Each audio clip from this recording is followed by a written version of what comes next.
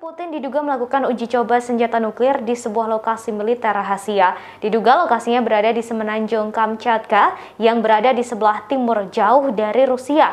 Lokasinya dipenuhi dengan gunung berapi aktif dan beruang coklat serta dilindungi misil otomatis.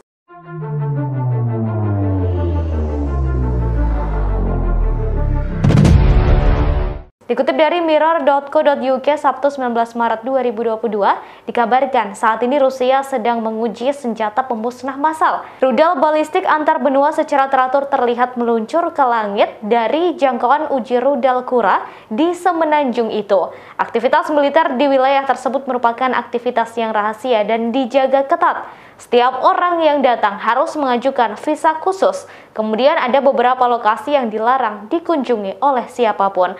Pasukan roket strategis Rusia mengawasi peluncuran rudal di lokasi tersebut, meskipun jangkauannya dilaporkan di bawah kendali administratif Angkatan Pertahanan Dirgantara Rusia. Diketahui saat ini Rusia masih terlibat peperangan dengan Ukraina. Rusia telah mengepung kota Mariupol dan terus mengujian ditembakkan hingga kota tersebut luluh lantak.